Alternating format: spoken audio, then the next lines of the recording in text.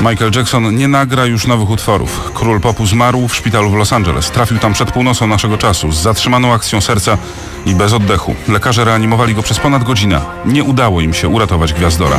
Kariera Jacksona trwała ponad 40 lat. Na połowę lipca szykował powrót na scenę.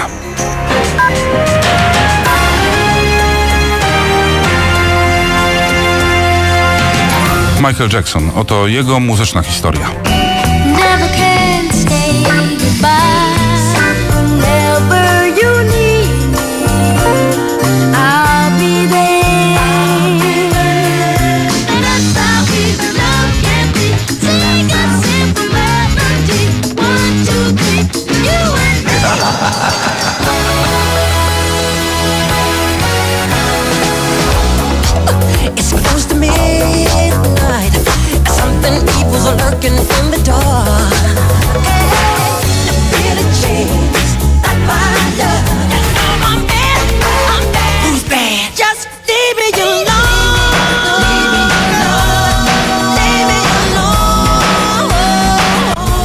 Leave Me Alone. Zostawcie mnie w spokoju.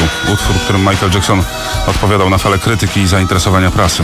A oto bilans. 750 milionów sprzedanych płyt, 13 nagród Grammy, kilkanaście piosenek na szczytach list przebojów na całym świecie. Michael Jackson to absolutny rekordzista. Jego album Thriller z 82 roku to nadal najbardziej kasowy album wszechczasów.